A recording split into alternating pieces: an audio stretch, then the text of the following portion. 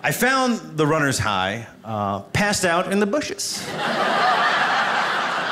I have gained and lost a lot of weight in my lifetime. Matter of fact, I've gained and lost so much weight in my lifetime. If you go in my closet, I have three wardrobes. I have fat, chusky, and 1982.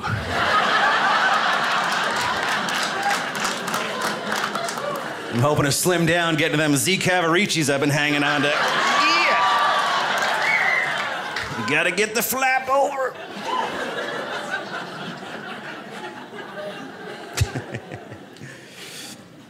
I made the mistake of uh, becoming friends with people that run voluntarily.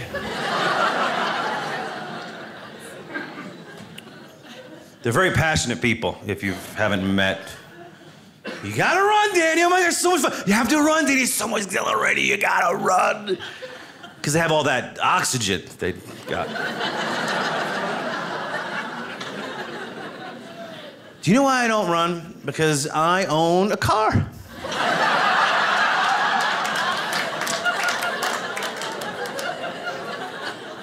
I will see you over there.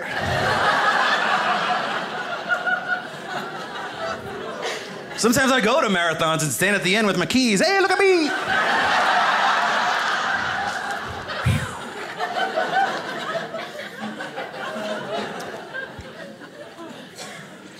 Danny, just do a 5K, right? I was like, I can do a 5K. Because they tried to get me to do more, like 5K, 10K, half marathon, marathon. Then they have these Tough Mudder runs where you run through 24 obstacles and you get electrocuted and fired, you punch a bear.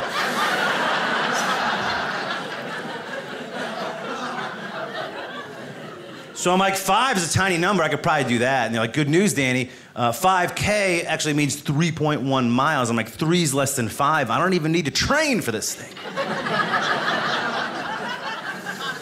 It's a lot longer than you think it is. Danny, you're gonna get a runner's high, right? We've all heard of the runner's high. It's uh, halfway through the race, your body and mind, it's gonna be numb. You're just gonna run and finish it. I found the runner's high uh, passed out in the bushes staring up at the lights. Take me. I tried to treat it like a video game. Like I, I thought if I could just catch one person and beat them, maybe hip check them into the bushes or something. like an oil slick or banana peel, something. If I could just catch one, like one guy could not catch the whole race. Every corner, I just couldn't catch him. He was in his late 80s.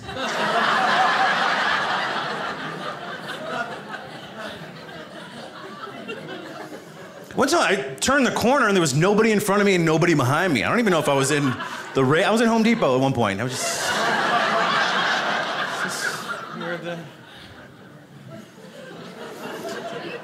And they have very nice people that volunteer for the race. You know, they hand out water and they're like, same T-shirts.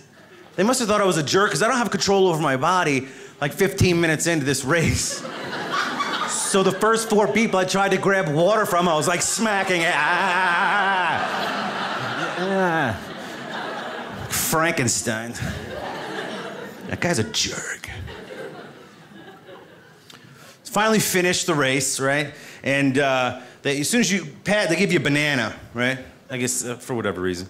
I don't know. So uh, apparently, people that do 5Ks like do them all the time. Because I am like crawled over the finish line, I grab my banana, I finally get up and I look at everybody else eating and talking. Oh my gosh, this is so much fun. We should do this every weekend.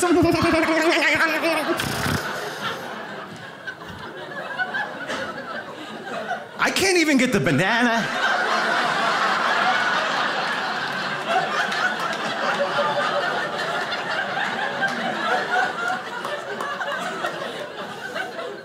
Like a banana shave bomb. I got It's good for the scam. Good to be here. It's like many of you, I'm getting older. Some of you. I had to go to the doctor. That's why I say that. I'm at the age now where I have to go get regular checkups. And the first thing they do when you go to the doctor's office for a visit is they weigh you because they want your self esteem to be as low as possible for the rest of the visit. they don't even do it privately, it's right there where everybody else is working. And then she has the chart and she's weighing me. And uh, then we have to have an awkward interaction. Like, she, I, you know, she weighs me and she looks at me and she's like, oh, I guess some people want to live a certain way.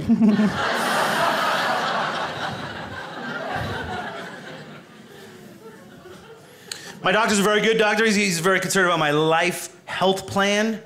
So he's like, uh, you know, Mr. Johnson, how many times a week do you work out? And I was like, I think you made the mistake of using the word week.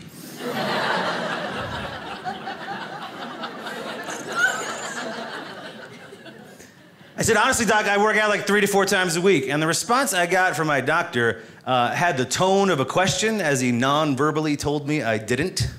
I was like, yeah, I work out like three to four times a week. He goes, You work out? You're using your body when you do these things. It's very. And when you get weight, it's very, you know, you get into a category. You're either normal, overweight, obese, which is a terrible word. You would think they would have another word in this, you know, this soft day and age with obese sounds like beast. You're obese, you're obese. You keep shoving food into your fat cake hole until you pass out. You're obese. And I go, what's next? He goes, morbidly obese. I'm like, oh my gosh, morbid's like associated with death. You're dead fat. I don't even know how you got here.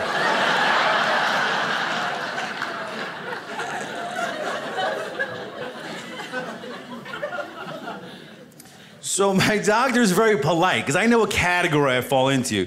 So he goes, "Hey, Danny, uh, this year for your your uh, goal for weight loss, we want to work hard to get you back down to being overweight."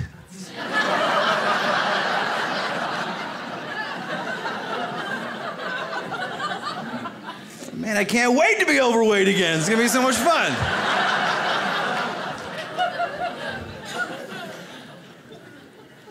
Very polite. I go, Doc, look, I'm not, I'm not thin by any means. I'm not skinny. I'm certainly, I'm not obese. What I am is like a chubby husky hybrid. like a chusky. Which is adorable, right? Oh, you looking at me so chusky, I just want to cuddle up and nibble on his second neck.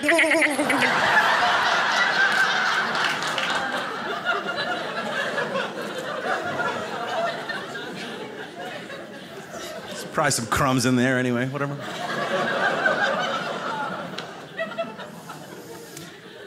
I go, Doc, are you writing this down in my file? Chusky, C H U S K Y. Chusky.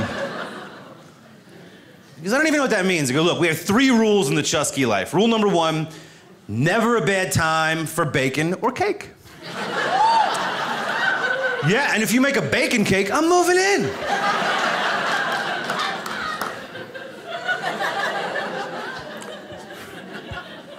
Rule number two uh, water tastes the best when it is sweet tea.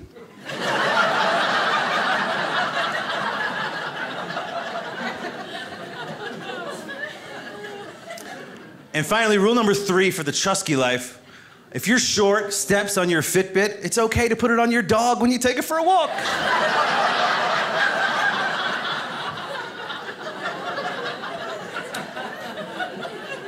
You win that workplace competition.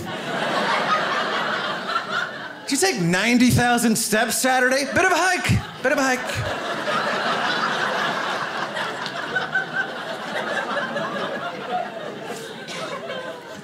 She told that joke uh, not too long ago at another club, and uh, this woman comes up to me after the show and she goes, Hey, you don't have to put it on your dog. I'm like, I know, it was, it was a joke. I go, what are you talking about? She goes, if you're short steps, you just take your Fitbit, you put it in a sock. You roll the sock up, you take a hooded sweatshirt, you put the sock with the Fitbit inside the pocket. You roll the sweatshirt up, you take the strings, you tie it tight, you put it in your dryer.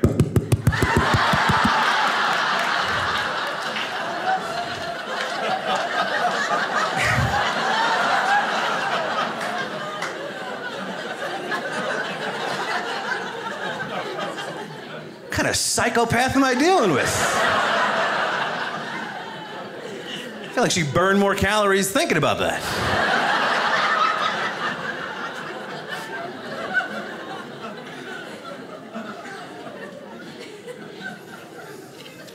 At some point in my life, I was 279 pounds, 280. I just want to get back to that point. That's my goal, I guess. I don't know. I don't know if this is a thing. You know, I was doing some shows in Omaha, Nebraska. At the time, I was 280 pounds. And uh, some guy after the show stopped me in the lobby. I must have mentioned it on stage or something. He goes, Danny, you said you were 280? Let me tell you something, you don't look it. You carry it well. Is that a compliment? I don't even. Did I carry my fat well around the body area? Like it's distributed evenly among the parts? What's this guy's point of reference? Did he meet a guy the night before with like an 80 pound frame and a 200 pound arm? Just. Yeah, look at that guy. He doesn't carry it well at all. She's got a big, fat, greasy arm. Oh, why's it gotta be greasy? I remember being that size and I was eating at a restaurant, and I guess I s- sat back from my meal. Uh, The waitress came over. She goes, Excuse me, sir, are you finished with that or are you just resting? yeah, I'm not climbing a mountain.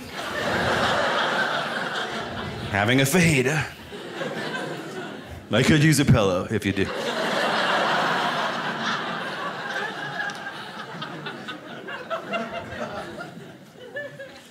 I think the hardest part traveling and being a comic, and it is, it's more about what you eat. It's eating healthy. And the fast food industry is it's cheap. It's right there on the highway. So it's hard to resist. It's the only industry in the world, by the way, that could treat you like garbage repeatedly and you still go back. Bad experience at a car dealership, insurance company, you don't go back there. But everyone in here has a fast food horror story. You've been back to that same location. Pretty happy about it. I got a Big Mac at the drive thru right? Not a hard order, not complicated. There's a couple layers, maybe an assembly line process. Before I get back on the highway, I reach over. It's really thin from my Big Mac experience. I pick it up. Uh, no meat. Yeah, that's a big part of the Mac. The meat. So now I have this dilemma. Do I go back inside and argue for my grade F beef?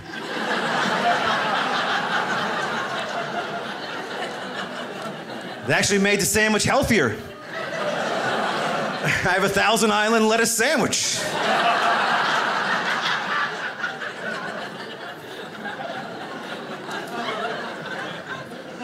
The answer is yes. You go back inside. You talk to the manager, Ted. Ted, this is embarrassing for both of us. I got no meat in my sandwich. The response I got from Ted, the manager, with a straight face was, Are you sure?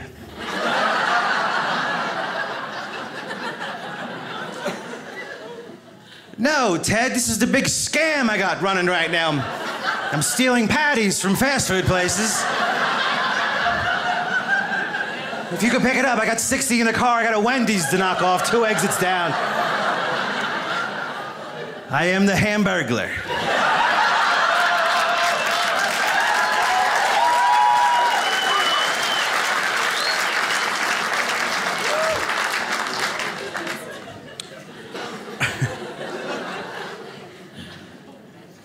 I like Burger King better than McDonald's. Not because the food's any better, it's because I'm really immature. And every time I go to Burger King, I get an onion ring in my fries. That's a good day. you don't even know you got it until you get back to the table. You have your tray, you're like, oh, do you want to sit at this booth right here? Oh, that's fine. Oh, I didn't pay for this, did I? Who's the king now, huh? I'm gonna put it to the side, save it for later. Little ketchup circle of protection around it.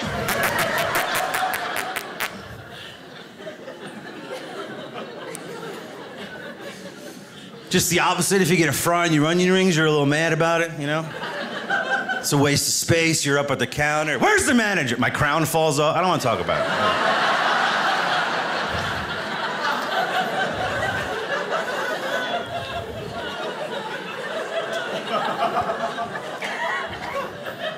Still fits.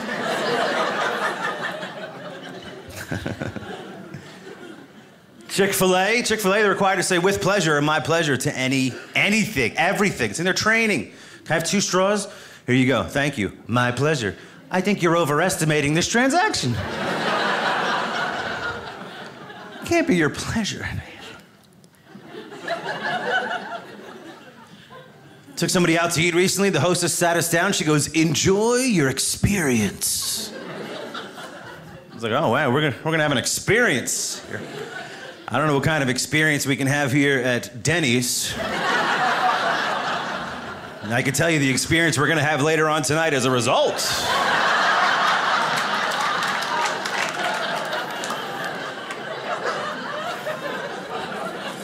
This Moons Over My Hammy.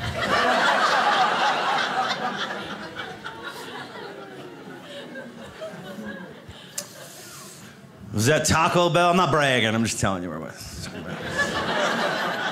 Behind the counter, at a charity event, you can give a dollar on top of your order and, you know, feel better about yourself for 48 seconds. but I don't want the attitude when I don't want to give. I placed my order. She goes, "You want to give a dollar to this charity?" You know, it goes on top of your order. I'm like, "No, I give in my own way." She goes. She goes. I was like, "I'm sorry." She goes, "You don't care about people's health?" I was like, "Ma'am, I am eating at Taco Bell. I don't care about my own health."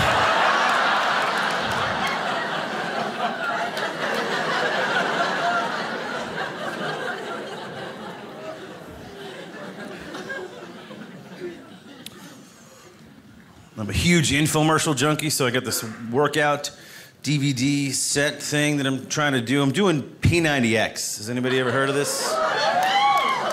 It's run by Tony Horton, the Antichrist. He's 111 years old, I think. It's 60 to 90 minute workouts. I'm on day 10. All right, I've had the kit for like eight months. Look, there's a lot of paperwork and warranty information. I've watched all the workouts. In workout clothes. Eating Doritos. Living the Chusky life. Just sitting there and I can't even put my body in that position. I don't know what that is back there. Do you feel the burn? Oh, I feel the burn. All right, baby. It's mostly because I have a cut right here, and these are Cool Ranch. It's the burn I'm currently feeling. I can't relate to anybody in those DVD workouts. They're all done working out forever. They're all ripped and cut. I need somebody I can relate to. I need like some 40 or some, you know, chusky guy with asthma having an attack in the back of one. Dry heaving. Oh, God.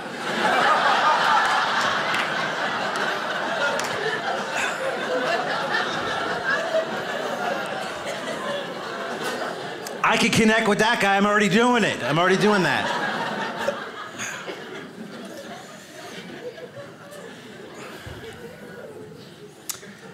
One of the guys in the workout uh, DVDs doesn't even have a shirt on. I don't know why you would, right? I look at, I look back. He's got 87 abs.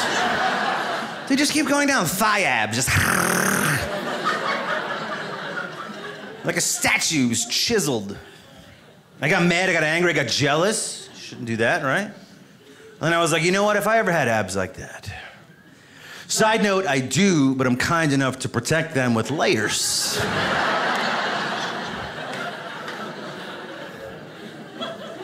if he gets stabbed and I get stabbed, who lives? Me.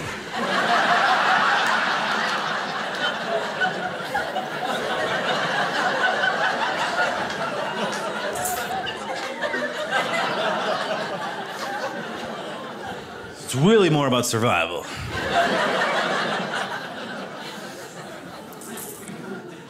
But if I re- really, if I ever did have abs like that, like a statue, I'd probably burn all my shirts. I'd have a ceremony in my front yard with all the neighbors, and we'd burn them, and I'd never wear a shirt again if I was that.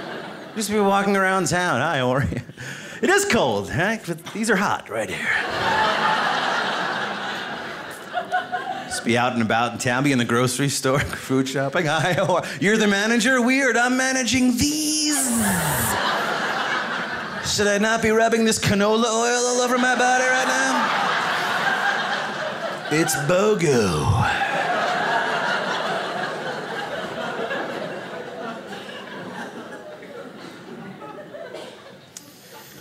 Just need somebody to relate to in those.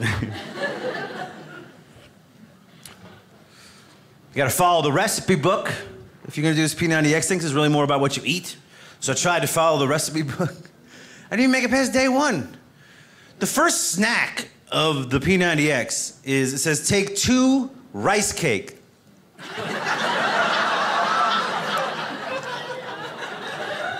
I feel my mouth getting dry right now.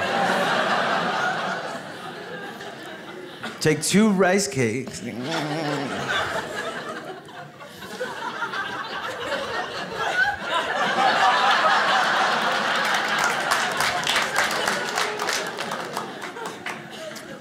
If you don't know what rice cakes are,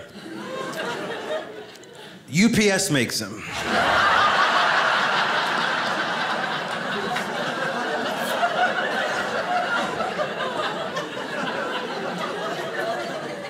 They take the little S packaging styrofoam and they compress into a circle, a little blueberry dust on top, and then ship it.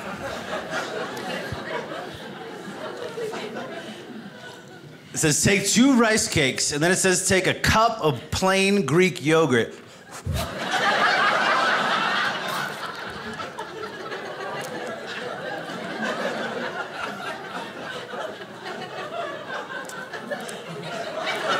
I think I think everybody's mouth's getting dry at this point. I think it. So, if you haven't had plain Greek yogurt, it's a combination of glue and glue.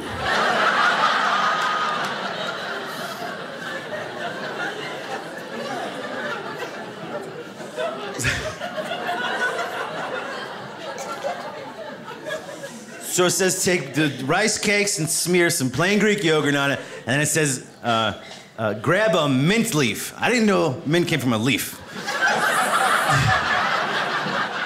What about crushed Tic Tacs? Can I crush some Tic Tacs in it?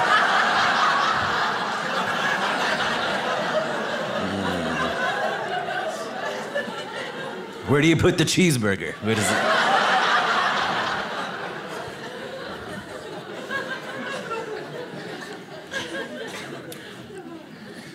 I live in Florida, and my favorite store in Florida is my grocery store because not only can you go there and buy food, but it's the only store I know that exists where you can go buy food and weigh yourself at the same time. They have a scale right next to the blood pressure machine in the pharmacy. I just think it's an odd, and thank goodness the kind people of that grocery store have made the scale the size of a grandfather clock. With a huge. Are we weighing calves in here? Is we-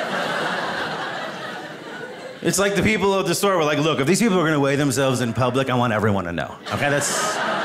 Matter of fact, I'm thinking about adding some sound effects. Ah! Vegetables are in aisle. n- Ah!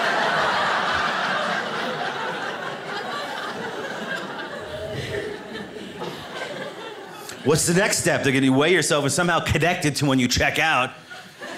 So you go to check out and like, oh, I don't think these Oreos are quite in your range just yet. Why don't we?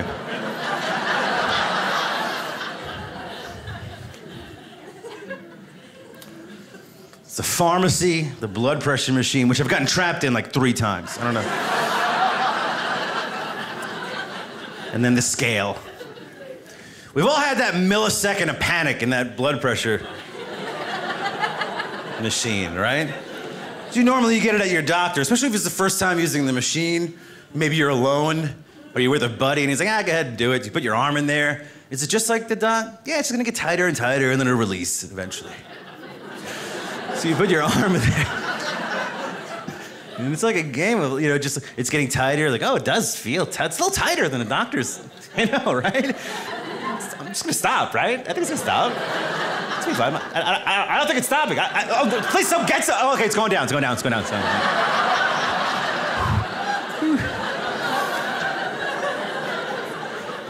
And then your blood pressure is high. No kidding. I thought the crazy grocery store robot doctor was gonna trap me here overnight. of course it's high.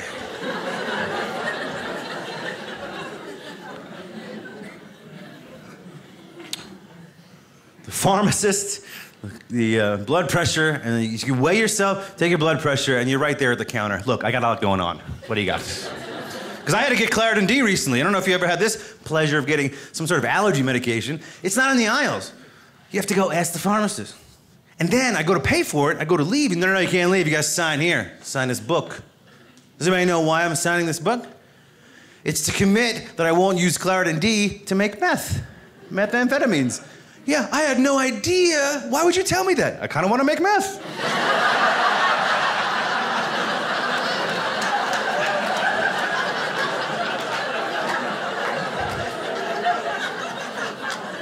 Why don't you get, what else do I need to sign for? Give me one of everything.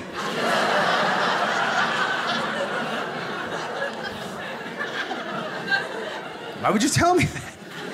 And is that really working? That we're all signing that we won't? Is there are there two guys in a cul-de-sac right now somewhere like, hey man, it's time to make that meth? Man, you can't. You sign that book.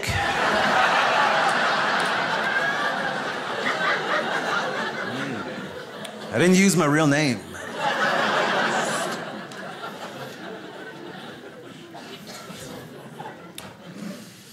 Just had a birthday, turned 72 years old. I just make up a number and people like, you look good. I drink a lot of water and I walk a lot.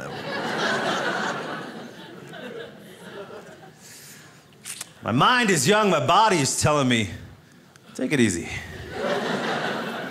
The other day I pulled a muscle in my sleep. I don't know how to explain that to a doctor of any kind. I'm just in the middle of the night, I'm stretching out, and my calf nuts up. I'm like, ah, foot up, foot down, foot up, foot down. I don't know which way.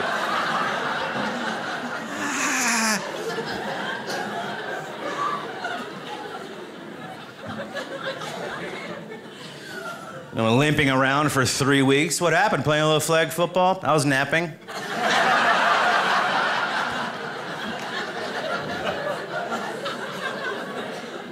it's a violent, vicious nap I took. It's not even an injury that I could even have a fight story about. No cool story. It's not like a scar or a black eye where I can just make up some absurd. It's my calf. I can't. Yeah, this, this guy was bothering some women at this place, and I, I got in the middle of it, and then, and then one of the guys, he, he dropped to the floor and started punching my calf repeatedly. it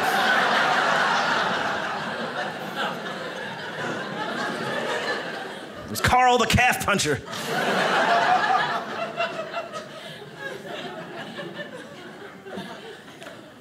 The other day, I found myself uh, coaching myself out loud just to pick something up off the floor. like, I drop my wallet and I'm like, here we go, here we go, here we go, here we go. Up, up, up, up, up, and we made it. Oh. A little lightheaded.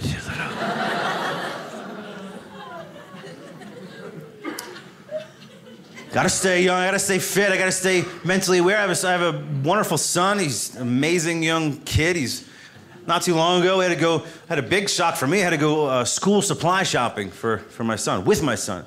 And that game has changed dramatically from when I, when I was a kid, there was two school supplies. One, Trapper Keeper. yeah, if you don't know what that is, it's a notebook with 85 pockets, 75 vel- Velcros, a net. Uh, was a trapper keeper and a compass. It wasn't a directional compass, it was a two pronged tool. On one end was a golf pencil. and on the other end was a razor sharp ice pick.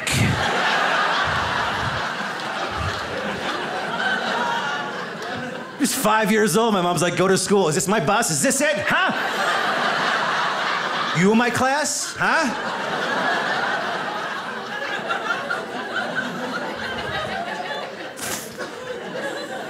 You draw the perfect circle. I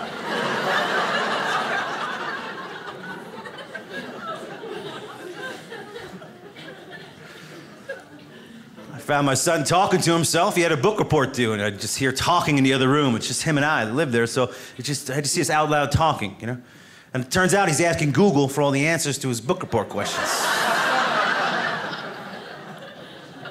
I was trying to tell him when I was a kid, we had a book report we had to go to this building. it's called the library. Using the card catalog and the Dewey Decimal System.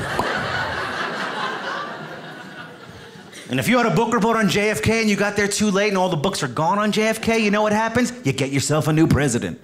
now you're stuck with Grover Cleveland. He was a president? At least I know where he's from.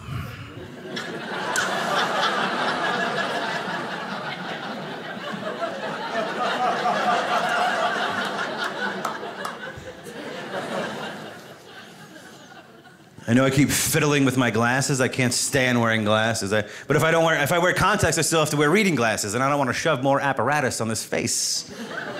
it already has. So I just don't like it. The reason I don't like wearing glasses is because my eyelashes continue to grow and shoot out at people. They're extremely long. Right now, you all look like you're in prison because the whole show it's just lines. Just I feel like snuffleupagus. Hi, bird.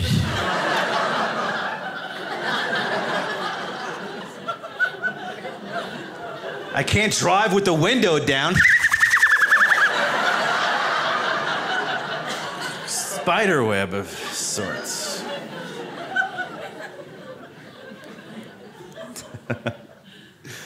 so I was talking to my family about what do I do about my eyes? I can't stand wearing glasses. Like, uh, and you know, one of my one of my relatives is like, why don't you get like a, why don't you look into a service animal? this is the genius pool I'm working with. I think we're pretty far from the service animal. But I did do research. like when service animal, the ADA, Americans with Disabilities Act, they when they first really established a nationally accepted service animal, it was two. It was dog and miniature horse, which quite frankly I don't see enough of. Those little horses. and we all know those miniature horses used to be unicorns and they had their horns ripped off and they shrunk down to humility. I saw it on Facebook. So So it's dog, and then it's like different states, like Iowa and Oregon, started having different animals, and of course now it's just crazy, right? This one lady I was talking to in Starbucks, one woman, she said my aunt had a monkey, like a little macaque, like a little, you know. I don't even know what that was that I just did, but. Terrible. And she said the monkey would freak out every time her aunt had a seizure. And I was like, I'm pretty sure the seizure itself would alert people that something is amiss. They say seizures are caused by stress. No kidding, she's got to raise that monkey 24 7. How is that even helpful? If that woman was here tonight and she happened to, you know, God forbid, have a seizure in the back, and they were like, Danny, stop the show and go help her, I would love to. I can't, but there's a monkey going nuts right next to her.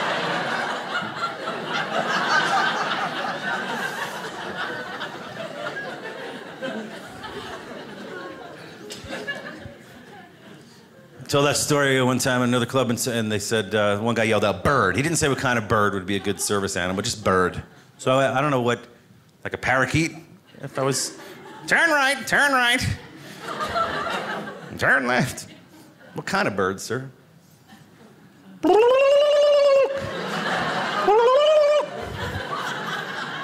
I gotta get a new one every November.